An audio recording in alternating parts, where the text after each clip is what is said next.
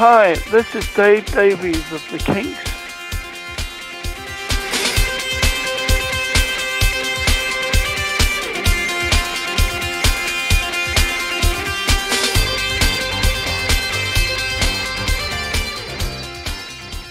Hey, I'm Nick DeMatteo, and welcome to season six, episode 10 of Music is Not a Genre, MXG.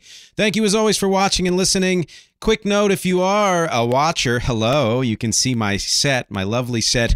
Don't forget, you can stream this everywhere, just the audio of it. And if you're just listening, go to youtube.com slash at music is not a genre, and there is a video for every single episode which let's get to this episode right now. The title of this episode is What's an Album and Why? Part 2 Coming of Age in the 1960s. So, if you were listening closely there, you noticed I said the words part 2.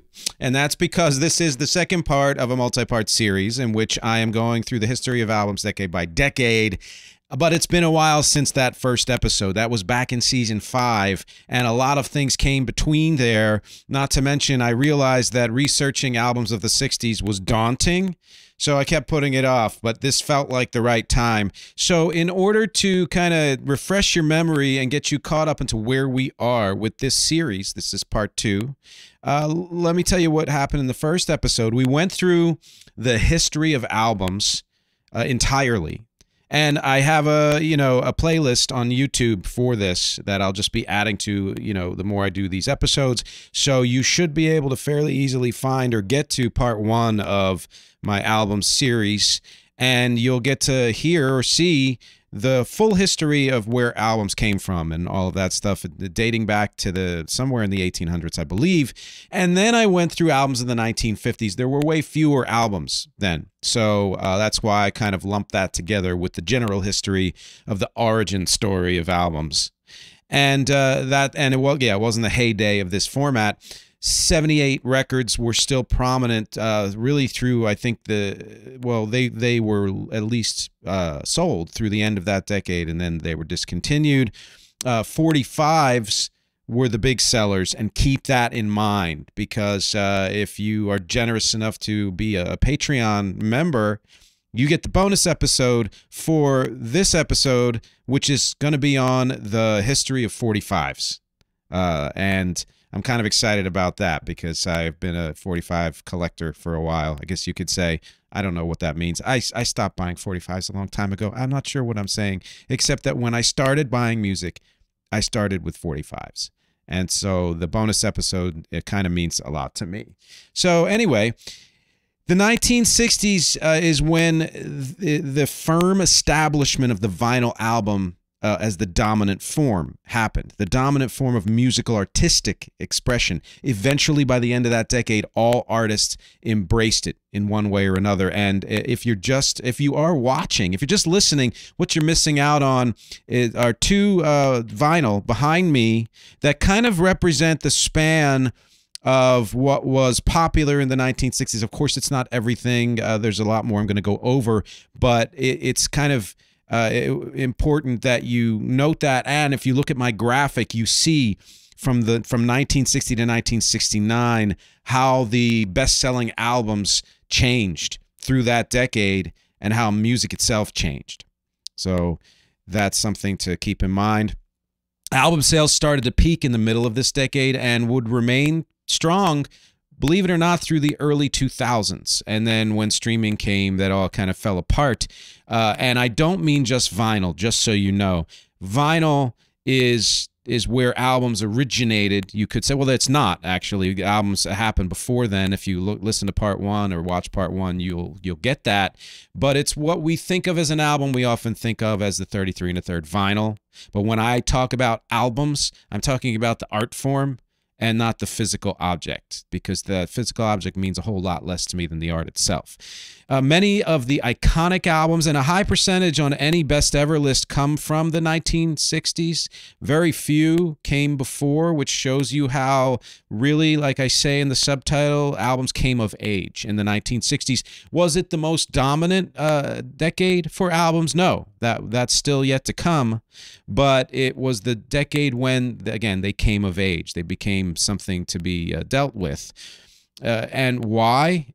well, we're going to talk about that. Most albums from this era were still a collection of singles and album tracks and were meant more commercial to easy packaging to sell a bunch of songs from one artist uh, than they were artistic.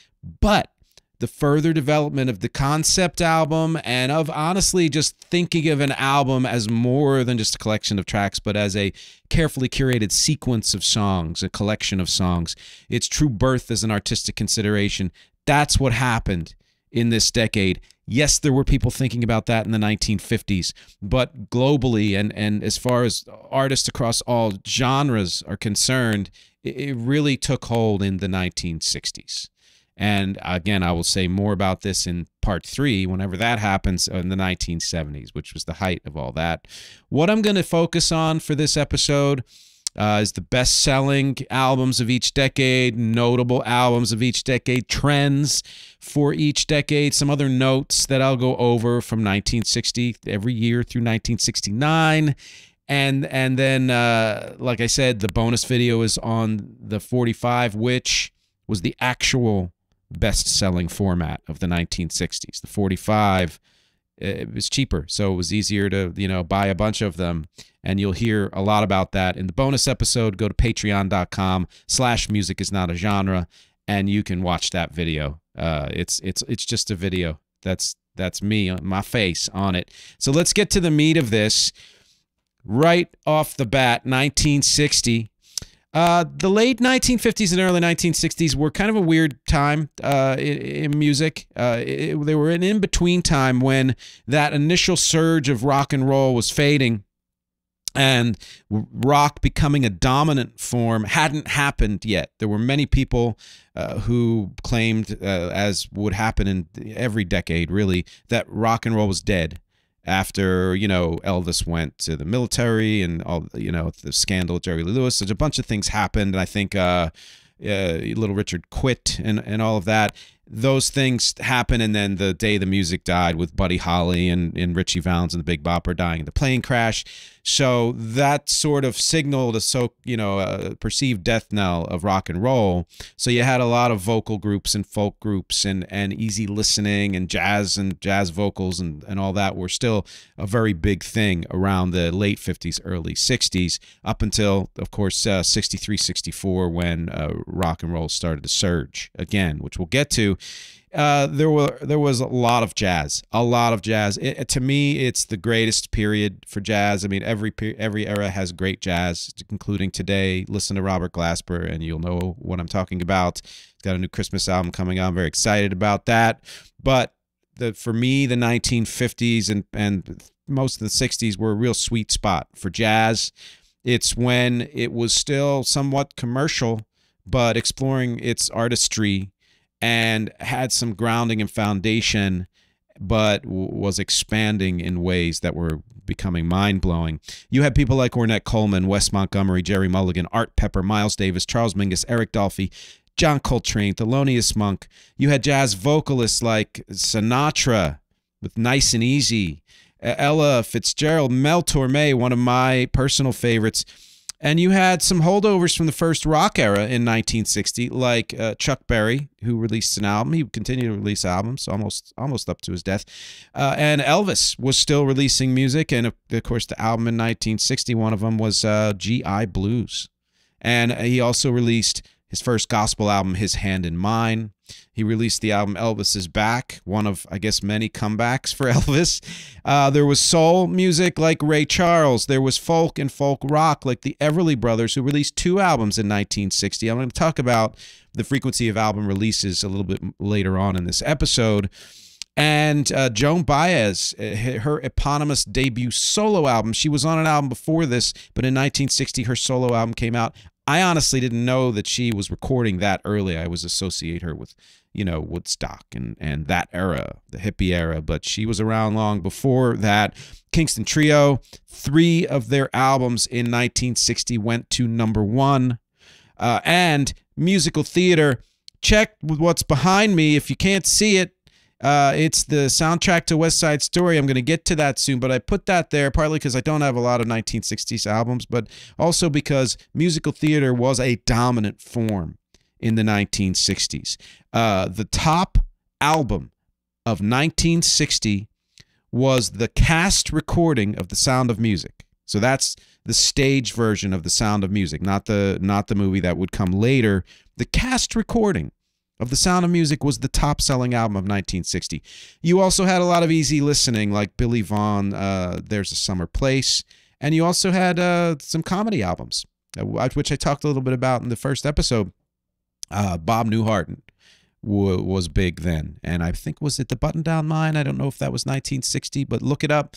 That was something that did hit the charts. That was on the top. Uh, you know, I believe a lot of what I'm mentioning, other than the jazz artists, which notable, very notable. Uh, I'm mentioning a lot of the ones that went to number one during that calendar year.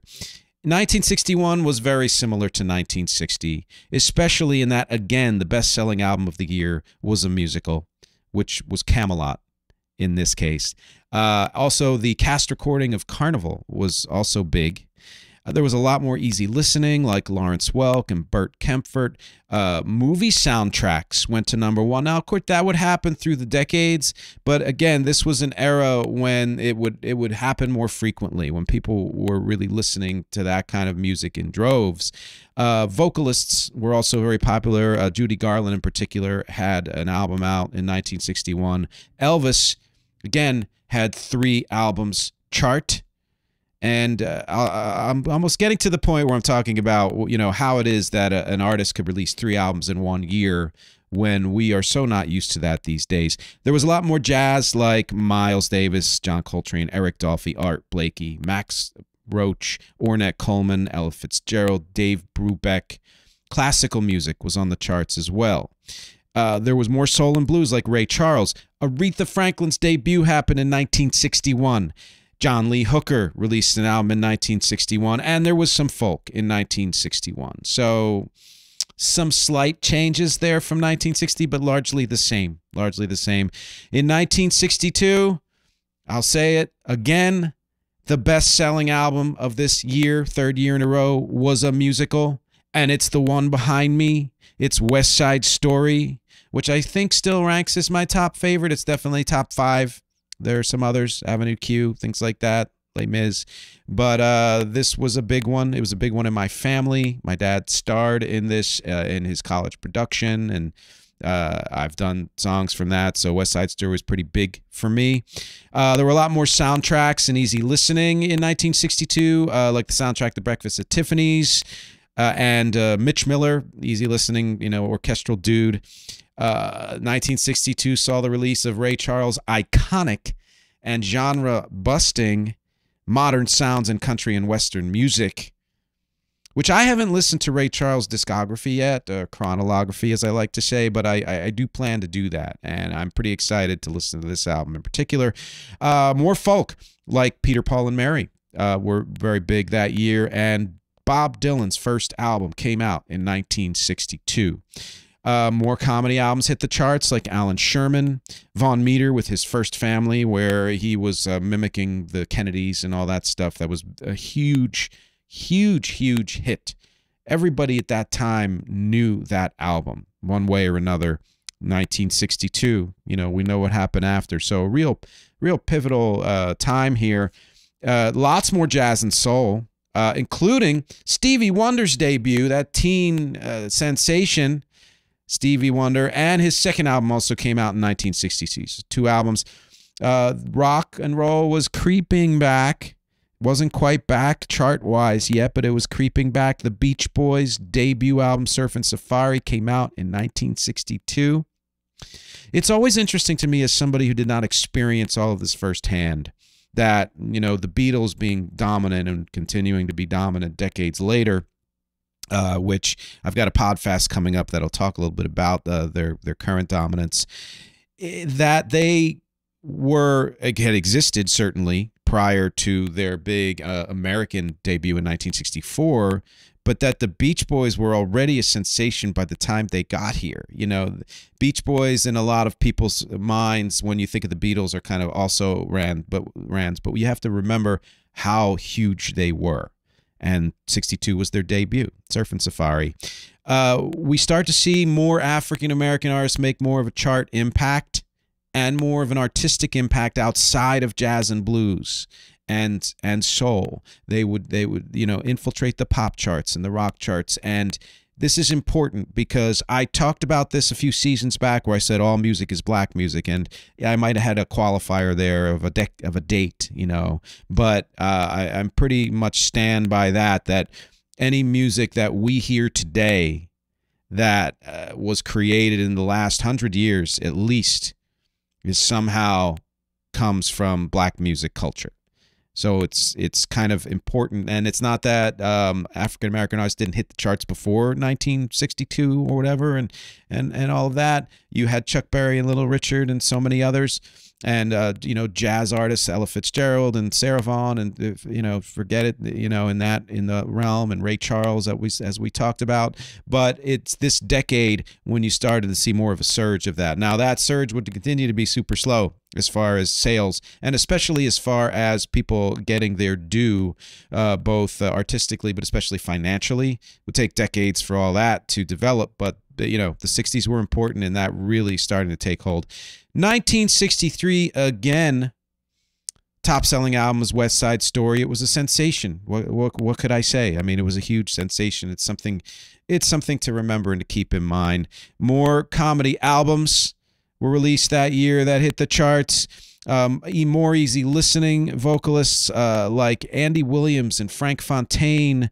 Uh, there were more albums from Stevie Wonder and Peter Paul and Mary. There were tons more jazz. I tried to find a jazz vinyl in my collection, and the only ones I had were either from the 1950s or well beyond the 1960s. So that didn't work. Uh, and of course, 1963 uh, sees the release of the Beatles' debut album, Please Please Me, and uh, then also following that up with the Beatles in 1963. Now, these were the British albums. And just a quick note I am clearly, and this tends to be the case with all of my episodes, unless it's something specific. I I am kind of uh, Western music centric, and uh, in particular America, a little bit Canada, UK certainly, and that is certainly the case here with vinyl. If there's someone out there that knows a lot about uh, albums of the 1960s and their dominance in other countries, especially non-English speaking countries, I'd love to hear from you. I'd love to know more about that. But just so you know, that's what my focus is here. And and that's 1963 debut Beatles album in the UK. Uh, Beach Boys released three albums in 1963. Bob Dylan released Freewheelin' Bob Dylan in 1963. Lots more soul music. It, there was really a ton of it by this point, and that would continue to grow even before Motown was a big thing. Stevie Wonder, Ray Charles, Aretha Franklin, James Brown, and Rufus Thomas all released albums in 1963. 1963 also saw the debut album by Barbra Streisand, who, as of this recording, just released the Tome a memoir, I guess it, it is. Uh, so, you know, she's still out there doing some great stuff. And this is when things, you know, everything's gradual. I think I've said this uh, quote before, and I think it was attributed to Ernest Hemingway, but who knows if uh, he was the original. That uh, change happens gradually and then all at once, or something like that. And that's certainly the case with music where you're seeing things starting to dominate the charts that had been around for years or been in development for years, but the consciousness of it, where people know about it to a point where it's not just uh, dominant artistically or dominant commercially, but then it's dominant in their minds. It becomes part of the culture and the zeitgeist. I know I use that word a lot. Uh, that's that whole all at once idea. So all of these things were bubbling up gradually, but the all at onceness would happen seemingly in the following year, 1964. Uh, now, here's an interesting tidbit, though, and this is why uh, I am, you know, I created that graphic for this to show how you would expect 1960s. So everything in the graphic would be rock and roll. No, because everything in the charts was not rock and roll. Not by far, not by a long shot. Rock and roll would not dominate this decade really commercially at all until the very, very latter years. A perfect example, one of the number one albums of 1964 was uh, The Singing Nun. I remember being told that was a sensation. I honestly uh, did not do a lot of research on why or where it came from, but look up The Singing Nun. I think you'll be fascinated with the history of it. This, of course, was also the year of the advent of the Beatles albums in the United States. Three albums came out, the U.S. Uh, albums Meet the Beatles, the Beatles' second album, and Hard Day's Night. So huge, uh, and, and, anybody who knows music history knows 1964 was huge for the Beatles and for the British invasion and for rock and roll in general, the resurgence. There were also three albums from the Rolling Stones in 1964, and the Kinks' debut album in 1964. So there's that British invasion. There's rock and roll taking hold. Of course, the Stones and the Kinks wouldn't be quite as dominant in the U.S. until maybe the year after or the year after that, but they they were out there.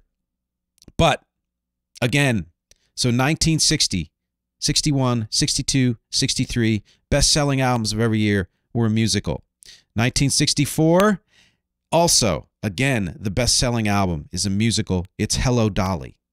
So this is I can't I can't really stress how important it is. It's why my graphic starts with the pictures of two musical uh, album covers. It was they were huge, and sure they're huge now. We know that, but it was a different thing then, where they were huge in chart dominance, in in musical appreciation, all of that stuff. Uh, 1964, more folk music, like uh, uh, Bob Dylan released more uh, Holy Modal Rounders, Joan Baez, Phil Ochs. There was more soul, Otis Redding, the Drifters, Aretha Franklin, and Ray Charles. So a real mix of a year. And even though the British invasion happened, again, rock music did not dominate the charts in in in really any significant way, but it did make an impact and kind of a, a you know a splash in the culture in a significant way, and would continue to grow through the decade. 1965, again, three Beatles albums. Beatles 65. Uh, now, I'm listing four Beatles albums because some were US, some were UK, and I talked about that in my Beatles series, which if you don't know it, go to youtube.com slash music is not a genre, uh, and you will find, or is it, no, slash at music is not a genre. Sorry, youtube.com slash at music is not a genre. And you'll find uh, when I talk about the Beatles uh, history, through nine, I think it's nine episodes now, I make mention of the difference between the US and the UK releases. So behind me, you see Beatles 65, which was one of my dad's albums. Uh, that was released, of course, in 65. Beatles 6, VI, Roman numeral 6, was another US album. And Rubber Soul and Help were both released in 1965. Uh, but, of course, it's 65 rock music. It's the 60s, so there's bound to be a change in the number one album. I mean, 1960 through 64, the number one album was a musical. So, of course, 1965 hits, and the number one album is again a musical. It's Mary Poppins. So, for those of you scoring, six years in a row, the number one album was a musical in the 1960s. Uh, I didn't look up what the number one album was in 58 or 59, but I wouldn't be surprised if it was also the case then. Uh, also, the Sound of Music movie soundtrack was one of the number one albums of the year, as well as the album to the movie Goldfinger. Uh, Herb Alpert's Tijuana Brass came out that year. Uh, more jazz, again, more jazz. There's jazz every year. Wayne Shorter and Andrew Hill, Herbie Hancock.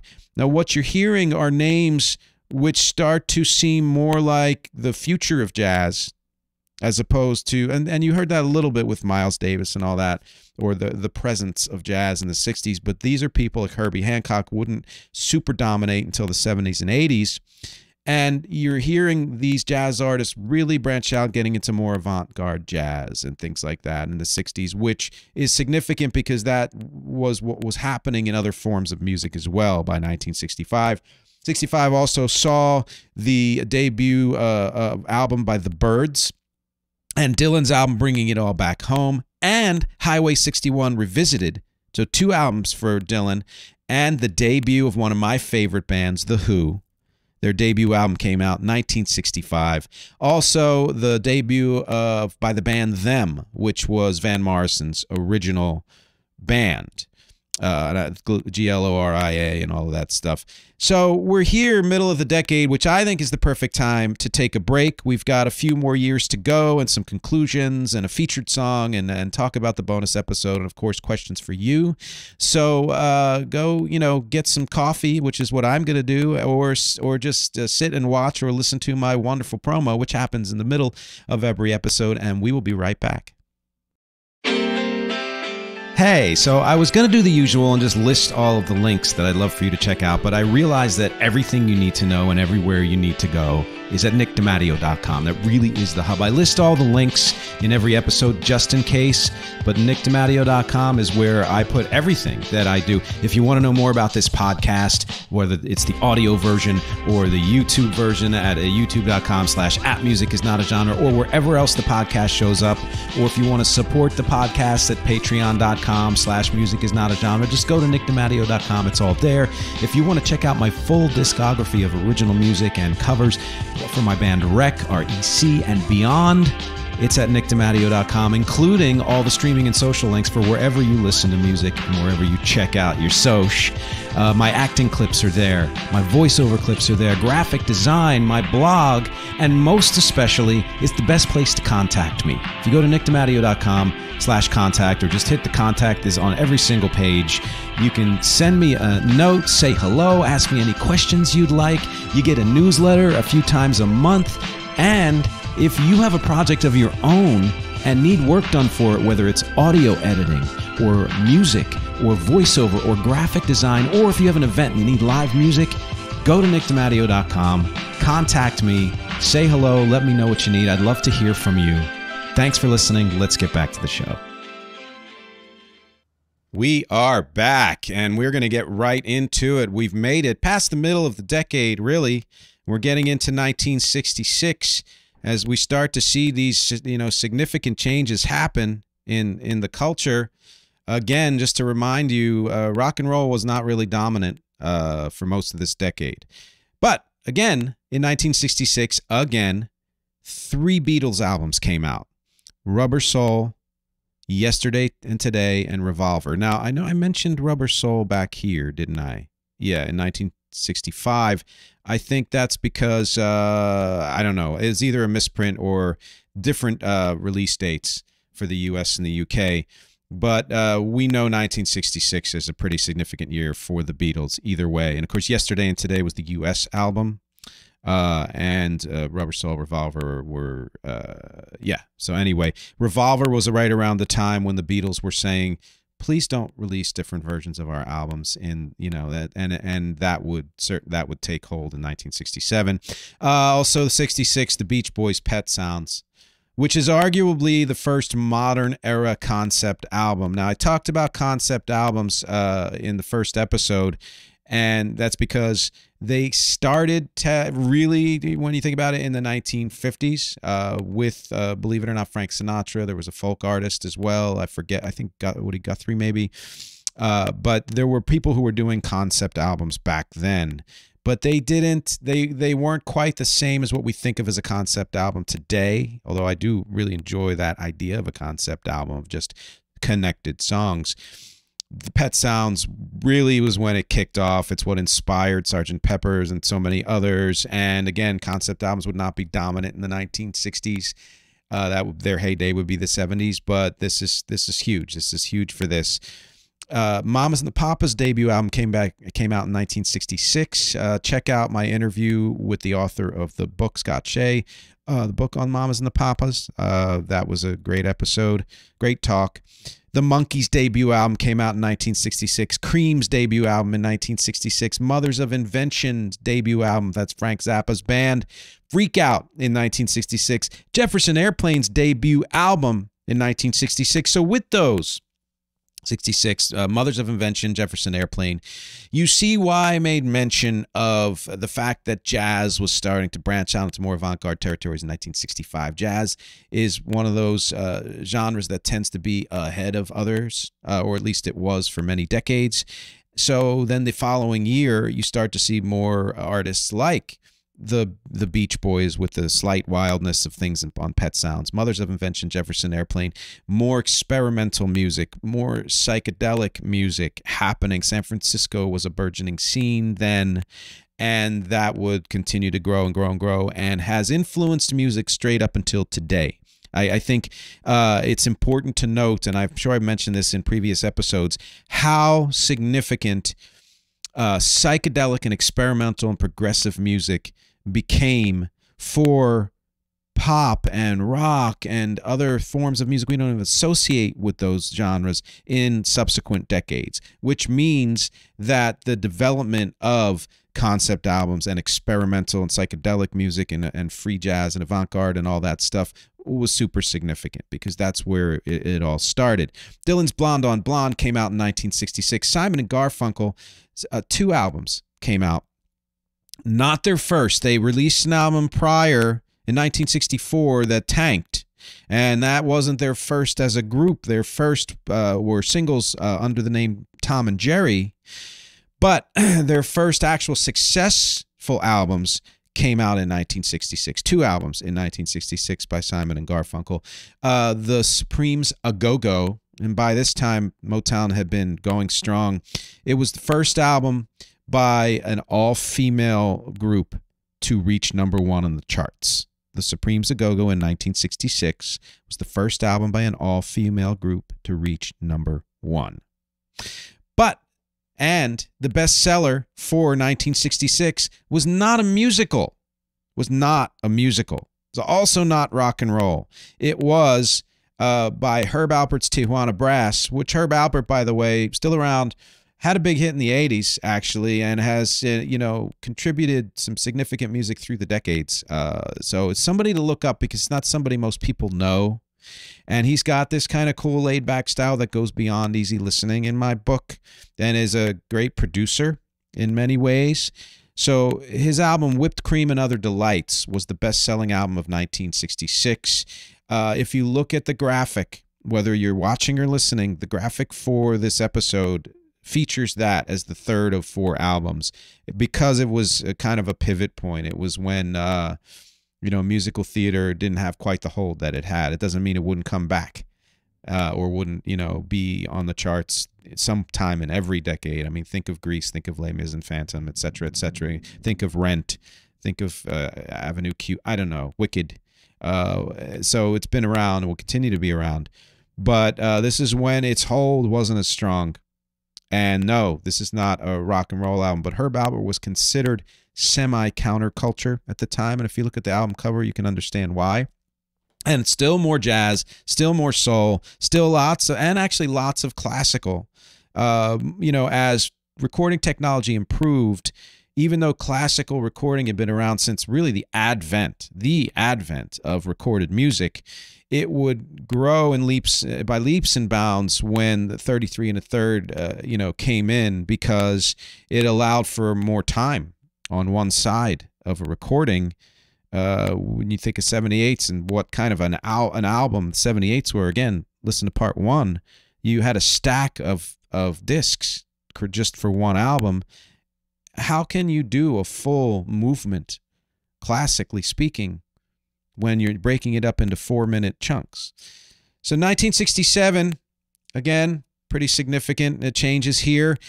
Two Beatles albums released in 1967 Sgt. Pepper's Lonely Hearts Club Band and uh, Magical Mystery Tour.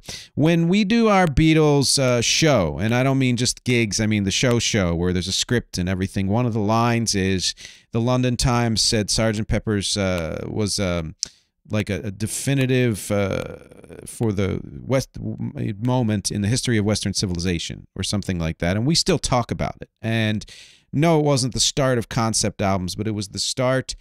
Uh, to me, uh, of other bands considering them viable in both artistically and commercially, and the one of the points being, and you'll hear this in my podcast a couple weeks from now, when I talk more about Beatles music, is that even though there were many cases in which the Beatles did not actually innovate music or, or start a certain kind of music, them doing it, A, they do it well.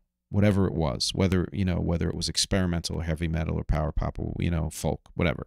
But B, them doing it kind of validated it for the rest of the world in many ways and spurred other artists to do the same thing. And I'm sure the Beatles would be the first people to give credit to artists who did it before they did it. But let's let's be honest, their impact for you know integrating the, the different kinds of music into what they did was, was super significant and still is. Three Monkees albums were released that year. More of the Monkees, which number one album of the year. So I do call the Monkees rock and roll music. Of course, they were pop as well, so maybe power pop. I don't know, but and I respect them more than you know you might think. Uh, I am not the kind of person who says the Monkees were better than the Beatles. That's a contrarian. But I will say that the Monkees uh, did significant music and did good music many, many years beyond what we remember. Maybe that they had the top album of 1967, so they rank uh, as the first I believe, uh, yeah, as the first number one album of the year, chart wise, sales wise, 1967 to be rock and roll. So you know, which you may makes sense. They're more palatable, you know, than other rock and roll acts. So easier to you know for the masses to love. Uh, they also released Headquarters, Pisces, Aquarius, Capricorn, and Jones Limited, so those are the three Monkees albums. Jimi Hendrix debut in 1967, Are You Experienced? More Beach Boys came out. The Bee Gees' first international album, which watch my episode or listen to it on the uh, on the Bee Gees. It's uh, it's one of my most popular episodes of Music Is Not a Genre. A lot of great Bee Gees fans out there who understand that they were always more than disco, and you know this wasn't their first album but it was their first international album, and it was a hit. It was a big hit. The Doors' debut and second album came out in 1967. Velvet Underground's debut in 1967. Sly and the Family Stones' debut this year. Uh, very clearly, very clearly, 67 was the year that rock and roll finally took hold of the charts. That, in fact, the only non rock number one album of the year, album to go number one at some point, was the number one album of the year, Herb Alpert's uh, Whipped Cream and Other Delights. Every other number one album was a rock and roll album. Uh, how you know whatever genres of rock and roll existed at the time. So you had seven years of the decade, 60 through 66, when rock was really not that dominant, creeping up, but not. It, it would take until 1967 for it to dominate the charts. Also in 1967, you had a lot of blues and soul and folk folk rock, you had the Byrds. you had Buffalo Springfield. They were huge that year. The Beatles, 1968. Again, this time they'd only released one album that year, uh, the White Album, which is one of my favorites. Uh, you know, if you haven't listened to it, it's double album. You know, it'll blow you away. And was, ironically, very significant regarding album art because there were no pictures. I was white. That's why it's called the White Album. And there was a stamp of their name.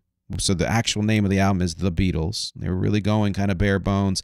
And they were making kind of a an artistic statement by being anti-artistic in that way, which I absolutely love. I've done it uh, for some of the things that I've done. Uh, but up to this point, you didn't have like there would it was around the middle of the decade when artists start to consider the album cover as a work of art in its own right. It's not that there weren't considerations about album covers prior to then. I mean, part of it is just for sales. You had to put the just the right picture to, and the right mood and atmosphere of you know Frank Sinatra leaning on a table or whatever it is, you know, to get the message across of what the album contained and to, and to entice people to buy it. But that's a little different to me than again the album art itself being a concept. And you had rubber soul and Revolve, revolver really starting to bring that idea up and and other artists were doing it at the time too certainly psychedelic artists. But it was really sergeant pepper's that that threw it eh, you know down and the white album in its in its uh, anti way saying the same thing that the, the album cover is significant beyond its commercial uh, merits. Uh, Cream and The Doors both had number one albums in 1968, something that would never have happened in years before. The Rascals and Big Brother and the Holding Company also had number one albums in 1968. Jimi Hendrix, number one album, final album, Electric Ladyland in 1968. There was more Simon and Garfunkel. There was also more easy listening like Herb Alpert and Paul Mauriat, I believe. I had never heard of him until I did the research for this. Blood, Sweat, and Tears debut album in 1968, uh, the year prior to Chicago. Fleetwood Mac's debut album in 1968. This was when they did not sound like the Fleetwood Mac that uh, we know. They're more blues based. Beach Boys and the Byrds were still going strong in 1968. Procol Harum's Shine On Brightly was uh, released this year, and I think it's I think it's the first progressive rock album to make an impact. No reason to claim it was the first progressive rock album ever. I haven't done an episode strictly on progressive rock. I, I think I will at some point, uh, but so I haven't done the research. But really, as far as charts, as far as the culture beyond musicians and music, Procol Harum Shine On Brightly, I think, was the first prog rock, rock album to make an impact uh, the band's debut album, which shows that you had this uh, period in rock where it was either rock getting raunchy and hard. Think of the Stones, think of the Kinks, think of them, or rock getting more, uh, you know, poppy like early Beatles or the Monkees or uh, you know some of the other uh, British invasion bands, etc., or rock getting more experimental and psychedelic, and uh, you know intending to really push buttons and and push the envelope. And then all of that started to, uh, I mean, that would continue, but there were a lot of artists who were saying, can we get back to our roots? The Beatles did it to a significant degree on the White Album and certainly beyond that and then the band, who was Dylan's backing band and Robbie Robertson and all them, I think Levon Helm, whatever. Were, this was huge in 68 that an album like this would hit the charts because it it wasn't the kind of music that you would associate with rock and roll. It was very rootsy and let's remember that folk music had been chart dominant for uh, it's at least since the 1950s and probably even before then. And so you had folk and folk pop and folk rock and all of that happening, but that was considered uh, in its own realm, a different realm. But then you had the band and other artists starting to bring that into mainstream rock and roll. Uh, more psychedelic and experimental, uh, were, which were becoming hugely prominent by 68, of course. Lots more jazz and soul uh, and lots more folk and country like Glen Campbell, huge that year. And let's get to the final uh, year of this decade, 1969, the best selling album of the year, which you may want to say, you may want to say, and I don't know this for sure, but I think it's probably true that even though 1967 saw the first year when a rock and roll album was the best seller for the year, that was the Monkees. And fine, I'm not disparaging them, but when you're talking about like actual, when you listen to the music in today's world, it still sounds like rock and roll with an edge.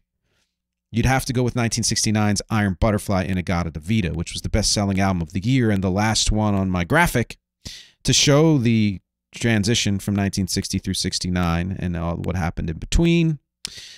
And so to me, that means that it took until the final year of the decade for a, a straight up true rock and roll album by a rock and roll band to dominate the charts. So go back and review the 1960s with that in mind and see what else you can discover. 1969 saw the debut albums of Chicago, Chicago Transit Authority, double album, absolutely incredible. Led Zeppelin's debut and second album both came out in 1969. It's notable that though the Beatles albums all went to number one at some point, Eh, as we're coming to the close of their their uh, era, none were the best-selling albums of any year. I mean, they're they're at the top of the best-selling charts now, but within their actual year, none best were the best-selling albums. Through 1969, White Album was still in the charts. Abbey Road was also on the charts. And let's make a, a note of this. 1969, you had that, you know, or whatever, 1968, the White Album the Beatles would start like most artists who had uh, done albums uh, in years prior, in, in the decade prior, even releasing three albums a year, three albums a year, then two albums a year, and so many artists would do this. Even even artists you wouldn't think of releasing that many, like Dylan, you know, would release a couple of albums usually in a year, and then of course artists like Elvis and Frank Sinatra, and and to in today's world, we think of an artist releasing an album at most once a year, usually once every two to four years. That was not the case then. So, again, hugely significant decade for albums because when they started to rise in prominence eh, artistically, it was important that artists took their time to craft them as opposed to just throwing a bunch of songs together and trying to come up with three albums in a year, unless that was how prolific they were.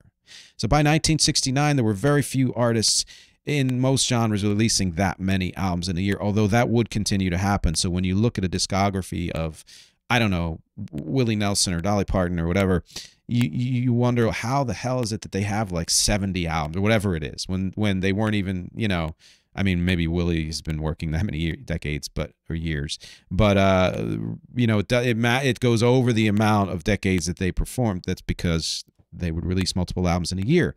1969, The Stones Let It Bleed. The Who's Tommy, so huge, huge. Uh, after a few years break of no musical reaching number one on the chart at all, Hair does. It's not the number one of the year, but it's it is uh, significant in that musicals return, but they return morphed. They return in the rock era. So you would have Jesus Christ Superstar and others coming out like that hair was huge in 1969. So, and that was kind of an important change in, in the world of musicals. Lots more roots and folk. You had Nick Drake, you had Creedence Clearwater Revival, you had again the band, you had Fairport Convention, you had lots more jazz, uh, avant, experimental, free jazz, uh, and also experimental music in general, like Zappa and Captain Beefheart. Now, you're not you're not necessarily going to hear uh, an artist named Captain Beefheart in 1960 and again, that just shows the uh, significant changes that happened. Because when you think about it, yes, there were significant changes in music to come. Uh, electronic and hip hop are, are the two big ones, and, and all the subgenres, and and uh, even heavy metal, I think, would be considered somewhat big as far as a, a shift in music. But the majority of what would be considered the musical vocabulary was established by the end of the 1960s you can't discount what was going to happen in the next decade and i'm excited to get to part three when that happens. But just uh, you know our musical language was really uh, went from you know proto to uh, i don't know let's say proto-indo-european to old english i don't know in the 1960s it was a language uh, all its own that was much more fully formed. So some conclusions uh, again, noticing the big shift from the beginning and the end of the decade, how rock and roll was ex- existent in the early parts only by people who were vestiges uh, of their success, like Chuck Berry and Elvis, not to take away artistically. Uh, and musicals, easy listening, and soundtracks were much more dominant. And then rock and roll and uh, became hugely dominant in the 19 by the end of the decade. Soul and R&B and funk slowly rose to prominence through this decade, though they wouldn't dominate the charts the way they would in the 1970s and beyond.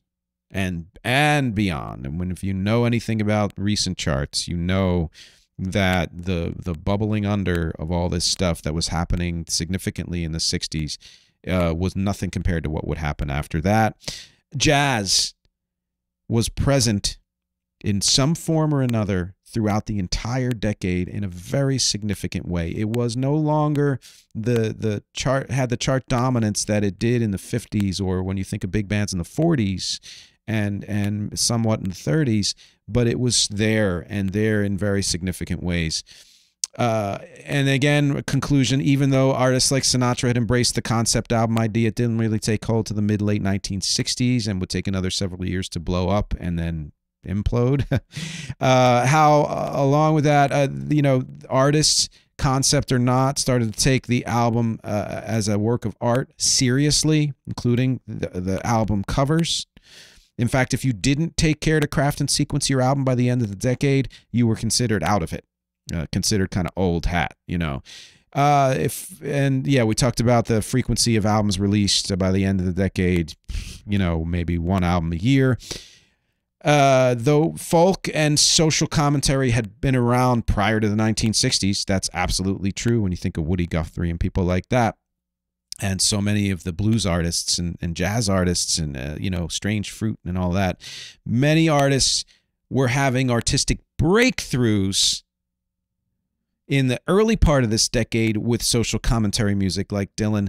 But as far as the charts and the social uh, you know aspect and the culture the second half of the decade saw music as a thing become super important in the language of society and culture and politics.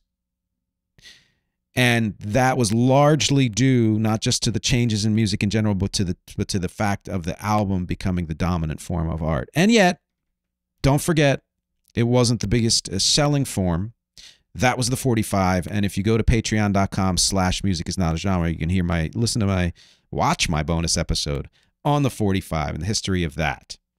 Uh, my faves of the album of course the british invasion bands uh, beatles the who the kinks the stones in that order. Those are my top four. Go back and listen to that. A part of my favorite era of jazz was the 1960s. In fact, the only albums I prior to the 1960s I listened to all the way through are probably jazz albums, to be honest. Uh, as much as I respect and know music before the 1960s, this is when my true influence begins. Speaking of, featured song for this episode is from uh, when I was going under the, the artist name Nick, all caps, from the album Listen You People. It's the opening track, Naked. And to me, this sounds like a 1960s influenced songs. The lyrics are about emotional nakedness, but let's get real. It's called Naked, so clearly there was a double meaning there. So I thought this was pretty significant in terms of uh, this decade of music. And that was a time when I was doing music that was more kind of straight ahead rock with that kind of 1960s influence. Uh, so there's going to be a link stay tuned. You will hear the song Naked at the end of this episode. And uh, let me know if you think it sounds uh, like it's a 1960s or 60s influenced song. I think I think you probably will agree. Uh, this song was featured on the local station when it was still doing rock in Philly, WYSP. It's now a sports station. It was one of the huge rock stations at the time. When it came out, it was played eh, after the Rolling Stones played in their in the arena in Philadelphia, the radio station came on and my song came on because they were doing like a best of local music show. Again, one more note. Uh, this episode will conclude very soon with the featured song, but please go to patreon.com slash music is not a genre if you want to see the bonus episode on 45s, on singles.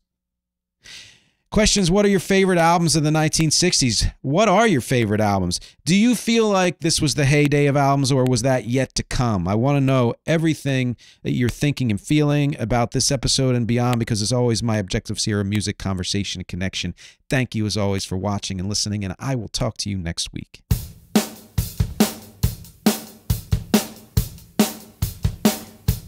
All right, let's do it.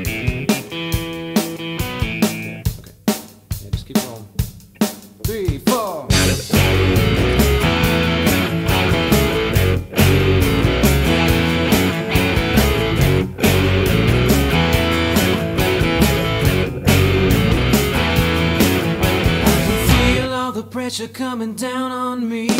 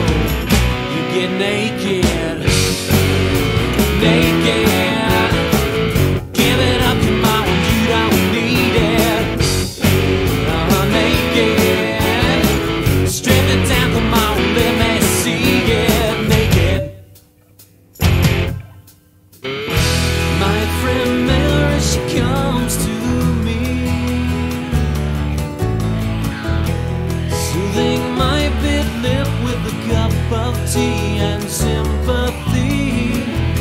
She says you can't do that to yourself, just gotta let it be. I like it when she opens.